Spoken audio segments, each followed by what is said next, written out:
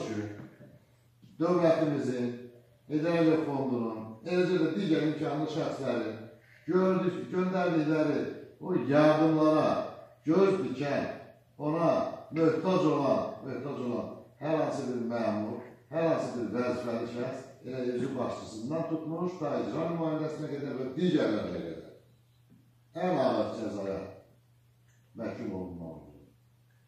Evet, bunlar həqiqətən yol verilməzdir.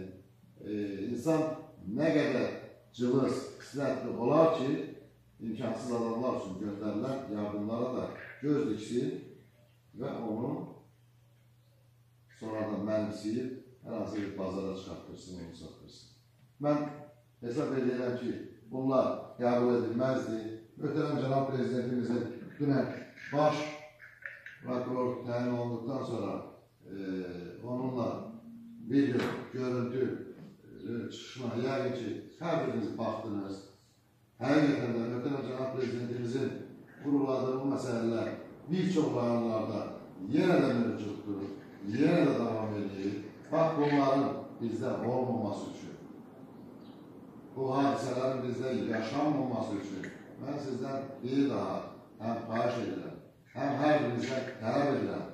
Bu kimi məsələlər əgər kimdəsə varsa, tamamilə yığışdırsın. Əgər bizim tərəfimizdən araşdırılır, ortalığa çıxacaqsa, çıx- onsuz da araşdırılır, e, ortalığa çıxacaqsa, onda həmin insanlar qanunun e, qanun əliliyinin öhdəsinə veriləcəkdir, qanunla mühakimə olunacaqdır. Mən e, bu məsələlərlə bağlı çox danışmaq istəyərdim, amma bilirəm ki, siz hər biriniz televiziyada, mətbuatdan, möhtərəm cənab prezidentimizin çıxışlarından, çıxışlarından bunu oxumusunuz, qulaq asmışsınız, dinləmişsiniz və hər biriniz də bu məsələlərdən məlumatlısınız. Yəni, bu kimi hallar həqiqətən yol verilməz hallardır. Bu kimi hallarla bağlı e, çox ciddi mübarizə aparılır və bu mübarizələr davam etdiriləcək. Bildiyiniz kimi, bugünkü günə qədər son 5 ay ərzində e, Möhtərəm Cənab Prezidentimizin nə qədər demələrinə, çıxışlarına baxmayaraq 5 ay ərzində 4 rayonda e, dövlət təhlükəsizlik xidmətinin xətti ilə icra hakimiyyətlərinə e, e, işlərinə gəliblər, icra başçıları həbs olunubdur və onunla bərabər digər idarə müəssisə rəhbərləri də bu həbsə göndərilir. Mən istəməzdim ki, bir hallar bizim rayonumuzda baş versin, bizim rayonumuzda belə hala yol verilsin.